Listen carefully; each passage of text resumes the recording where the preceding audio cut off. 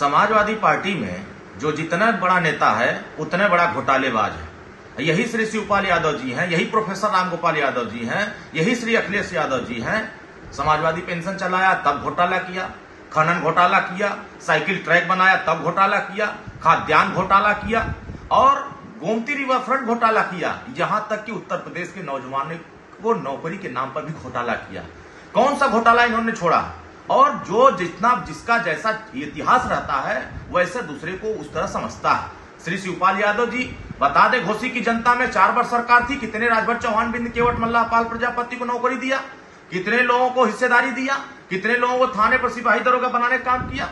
आपको सब, जब सरकार रहती है तो सिर्फ़ सफ़ाई के लोग नज़र आते हैं। और जब वोट लेना होता है तो घोसी की जनता नज़र आती है।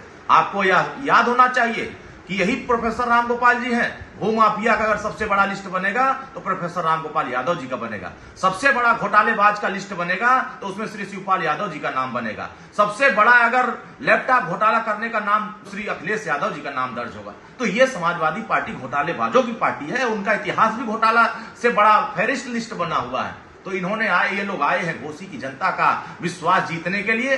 घोसी की जनता का विश्वास, समाजवादी पार्टी की गुंडागर्दी और जो इन्होंने बीज बोया है नफरत का, जो इन्होंने गरीबों के साथ अन्याय किया है, अपनी सरकार में थाने पर मुकदमा नहीं वो दर्ज होने देते थे, लोगों के साथ प्रताड़ित करते थे, लोगों की जमीनें कब्जा करते थे। कौन सा ऐसा योजना चलाया समाजवादी पार्टी जिसमें घोटाला नहीं हुआ?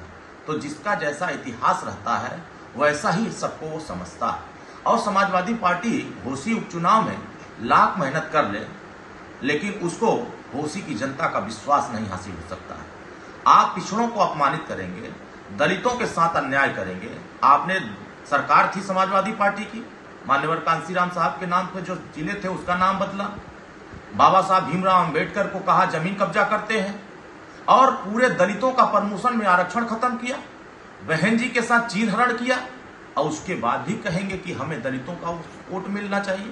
तो ये घोसी की जनता जिसको प्रत्याशी समाजवादी पार्टी ने बनाया है, उन्होंने भी ब्राह्मणों की हत्या किया, दलितों की हत्या कराया, यहाँ तक कि मुसलमानों की भी हत्या कराया। फिर किस चेहरा आप लेकर के जा रहे हैं वोट मांगने के लिए? घोसी की जनता ऐसे घोटालेबाजों को, ऐसे नफरती लोगों को, ये ना पिछड़े बर्दाश्त कर सकते हैं, ना दलित बर्दाश्त कर सकते हैं, ना मुसलमान बर्दाश्त सकते हैं, ना समान वर्ग बर्दाश्त कर सकता है। अब सभी वर्ग के लोग मिलकर के समाजवादी पार्टी के लोगों को पाँच तारीख को समझाने का प्रयास करेंगे कि अब आपका स्थान घोसी में नहीं है, अब आपका स्थान सैफई में इसलिए कि पूरा जनता, माननीय ओम प्रकाश राजभर जी, दारा सिंह चौहान जी, माननीय योगी आदित्यनाथ जी, माननीय भूपेंद्र चौधरी जी, पूरा मन मिजाज बना करके घोसी की जनता पाँच तारीख का इंतज़ार कर रही है कमल का बटन दबाने के लिए। इसीलिए समाजवादी पार्टी के नेता बौखला करके किसी को दलाल कह रहे हैं किसी को आ, दोगला कह रहे हैं तमाम तरह की बातें कर रहे हैं। तो यह सब जवाब जनता देगी और समाजवादी पार्टी जितनी हताश होगी जितना निराश होगी जितना बौखलाएगी उत्तर प्रदेश की जनता घोसी की जनता उतना एनडीए के साथ मजबूती से खड़ा होगी। यह तय हो गया है कि जनता समाजवादी पार्टी के साथ जाने को तैयार नहीं है। और ना पिछड़े दलित इन्होंने तो पिछड़ों के साथ धोखा किया। समाजवादी पार्टी ने दलितों के साथ धोखा किया, मुसलमानों के साथ धोखा किया। किसके साथ इन्होंने धोखा नहीं किया? और समाजवादी पार्टी के नेता, कार्यकर्ता खुद आदरणीय प्रोफेसर राम गोपाल जी को कहते हैं कि ये समाजवादी पार्टी के भस्मासुर है। और क्या चाचा वो दिन भूल गए क्या? जब समाजवादी पार्टी के नेता, कार्यकर्ता और खुद श्री अखिलेश यादव मंच पर धक्का मार के भगाए थे, जलील किए थे और चिट्ठी थमाके किए थे स्वतंत्रता की। तब आपने दल बनाया था, तब किसके साथ दलाली कर रहे थे घूम करके? दलाली किए हुए लोगों को सुहेल देव भारतीय समाज पार्टी की बढ़ती हुई लोकप्रियता, बढ़ती हुई ताकत बिल्कुल पसंद नहीं आ रही है। आने वाले समयों में इसी तरह का गुंडागर्दी रहा, इसी तरह की अराजकता जैसी भाषा रहा तो उत्तर प्रदेश में ही नहीं, पूरे प्रदेश और देश में समाजवादी पार्टी का खता खात्मा होगा।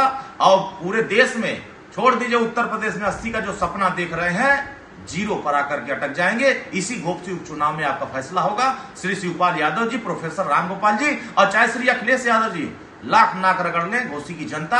अब इनके साथ जाने को तैयार नहीं है। पाँच तारीख को कमल का बटन दबाएगी और माननीय ओम प्रकाश राजभर जी और पिछड़े वर्गों का सम्मान बढ़ाने का काम करेगी। देश विदेश की ताज़ा खबर पाने के लिए हमारे चैनल वी न्यूज़ को सब्सक्राइब करें व बेल आइकॉन दबाना न भूलें।